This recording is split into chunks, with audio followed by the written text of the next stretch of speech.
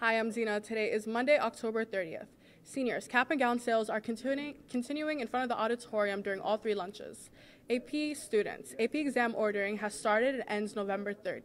Please look for the email for, from Ms. Kostowski about how to order and pay for the exams. If you are taking dual enrollment classes next semester, check your school email. It is time to apply and start searching for your classes. The email sent to dual enrollment students has all the information you need to get started. If you have any questions, please email your counselor. Registration begins this week. Want to train your brain? Looking for a new club? Then this one may be for you. If you're interested in learning, pl- playing, and competing in the game of chess, check out Chess Club on Mondays from 2:55 to 3:55 in room A220. Learn the game in a relaxed and friendly atmosphere. Develop skills and strategies and sharpen your mind. There will be no meeting. There will be no meeting 10-30, but meetings will resume November 6th.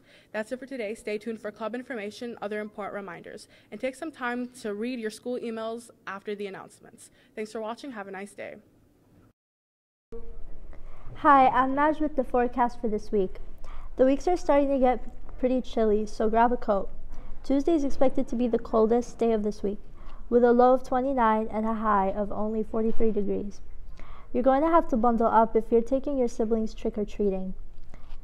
Wednesday, you can expect some sun, but not much heat. The hottest you can look forward to is Friday with 53 degrees. Thankfully, there's no forecasted rain for this week, so look forward to that.